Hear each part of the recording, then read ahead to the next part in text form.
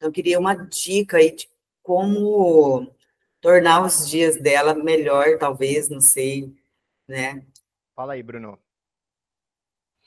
Ah, então, é, nós falámos não sei, Vilma, se tu estiveste na aula passada, na sábado passado, é, é importante, nesse caso, dela, se ela tem muita ansiedade, essa ansiedade é relacionada ao, ao simpático e não ao parasimpático.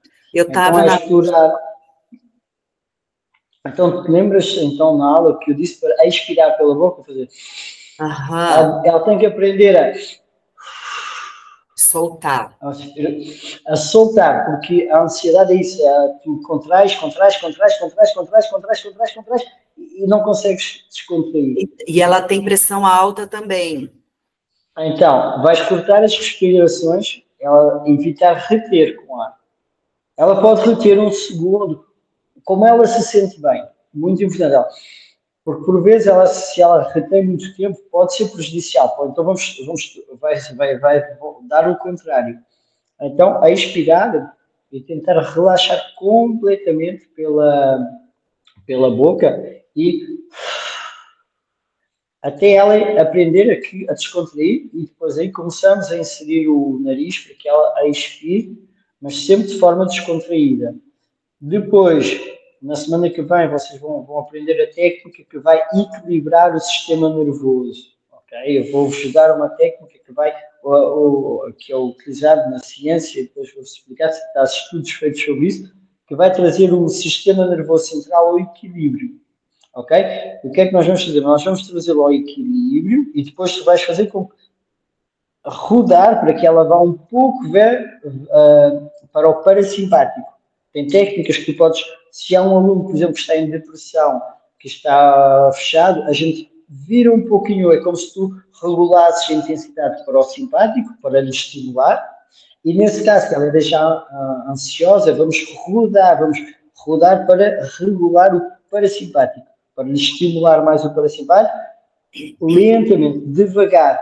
É, temos que nos lembrar que as coisas não se fazem por saltos, não há uma pílula mágica que nós botamos na pílula mágica que vamos e, e vai resolver todos os nossos problemas. Impossível, isso não acontece. É constância, ela deve continuar a seguir o seu acompanhamento médico e tu se conseguires, se ela tiver abertura contigo, para que tu consigas falar com o médico dela, para que ele te explique um pouco a situação, o que é que ela pode fazer, o que é que ela não pode fazer, e aí conduzires a tua prática nesse sentido.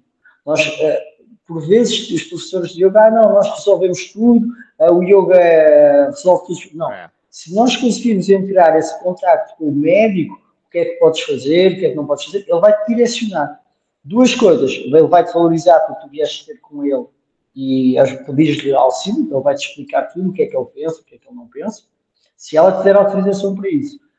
Se, e nesse caso, vais ter uma linha para te direcionar, o Daniel está aí, eu estou aqui para vos ajudar no, a direcionar depois, se precisares falar com o Daniel, fala com ele, o que tu precisares, olha, tiveste este retorno do médico, é que tu achas isto, isto e aquilo, e nós estamos lá para vos ajudar, claro, tá. mas tens de ter uma, porque se tiveres o apoio do médico, repara naquilo que nós já falámos no início da aula, tu estás protegida. Não, eu falei com o médico, o médico, ele é o especialista, eu só estou aqui para lhe ajudar com os recursos que ele lhe dá médicos de potencializar o efeito do, do remédio, do, uh, da cura, entre aspas, da, da pessoa para a pessoa melhorar a sua saúde. O teu objetivo é melhorar a qualidade da saúde e potencializar o que o médico está a fazer. Nós temos que estar sempre braços dados com os médicos, porque eles é que sabem uh, as doenças e tudo. O nosso objetivo é manter a saúde. Então, manter a saúde não é curar, é prolongar. Não sei se isso me fiz entender. Uhum. Uma coisa uma coisa que eu digo muito aos meus alunos nas minhas aulas e repito e repito e repito é o seguinte: no yoga, nós não estamos em competição com os outros. A competição é consigo mesmo. Então, perceber os seus limites. Quando tu conheces os teus limites, tu avanças um pouquinho. e essa progressão lenta é mais efetiva do que a progressão por saltos. Não vou forçar, vou forçar, e por vezes isso sai, sai mal. É lento. Então vocês vão ver isso. É lento, é um processo lento, é contínuo e constante.